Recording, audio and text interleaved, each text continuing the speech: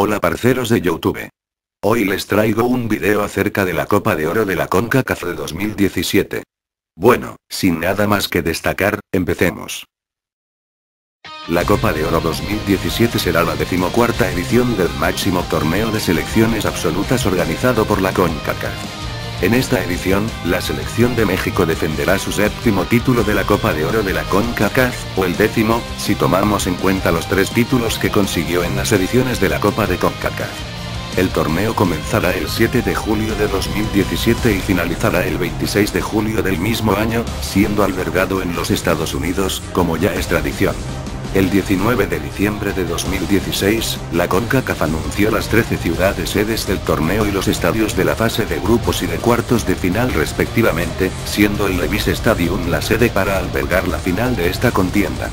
Como dato curioso, todos los estadios son de fútbol americano a excepción de los estadios de Harrison, Frisco y Houston, puesto que son los únicos recintos que albergan equipos de la Major League Soccer, que es la principal liga dentro del sistema de ligas de fútbol de los Estados Unidos.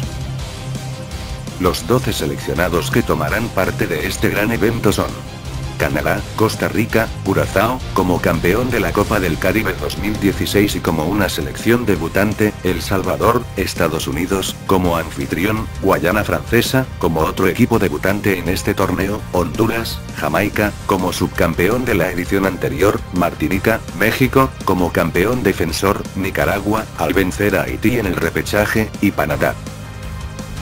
Como ausencias destacables podemos mencionar a las naciones de Trinidad y Tobago, Guatemala y Cuba, que no lograron su clasificación gracias a un mal momento, mientras que los Chapines por su parte, ni siquiera pudieron participar en la Copa Centroamericana 2017 debido a su suspensión por parte de la FIFA, que ocasionó que no pudiesen competir en ningún torneo internacional tanto a nivel de clubes como de selección.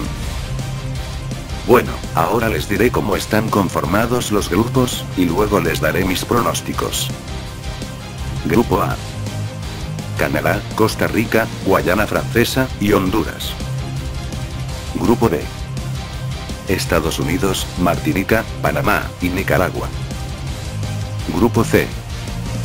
México, Curazao, El Salvador, y Jamaica.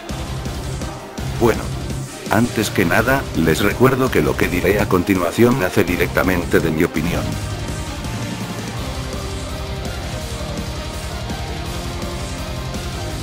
De acuerdo, en el grupo A, es bastante obvio que los clasificados serán los ticos, los catrachos y las hojas de arce, puesto que Costa Rica viene jugando muy bien últimamente, mientras que Honduras tiene un buen presente en el que han enmendado ese mal momento del 2015.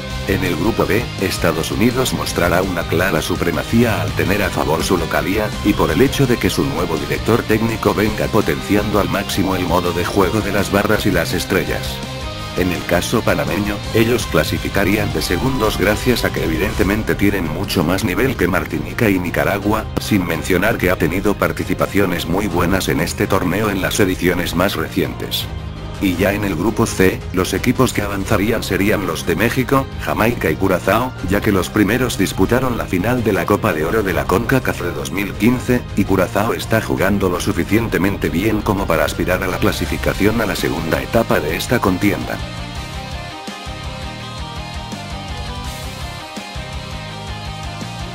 El primer partido de los cuartos de final sería entre las naciones vecinas de Costa Rica y Panamá, y luego de un partido muy igualado, los ticos serían los que conseguirían el cupo a las semifinales.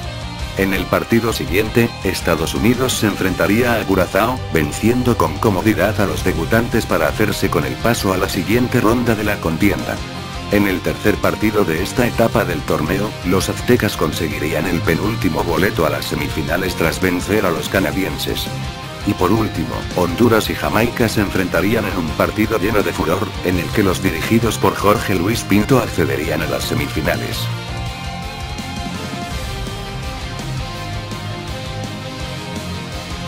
Para abrir las semifinales, Costa Rica tendría que enfrentarse a los Estados Unidos, en donde los estadounidenses serían los que avanzarían a la final luego de un cotejo muy rendido entre estas dos selecciones. Así pues, el otro equipo que llegaría a la gran final sería el de México, tras derrotar a Honduras en un encuentro bastante igualado.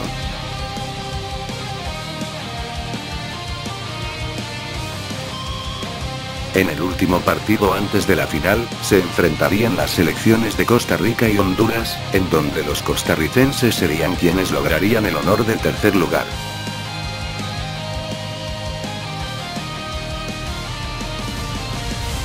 La gran final de la Copa de Oro de la CONCACAF de 2017 enfrentaría al campeón de la edición anterior y a la selección anfitriona en el Clásico de Norteamérica, siendo los estadounidenses los vencedores luego de un partido enormemente complicado para ambos equipos.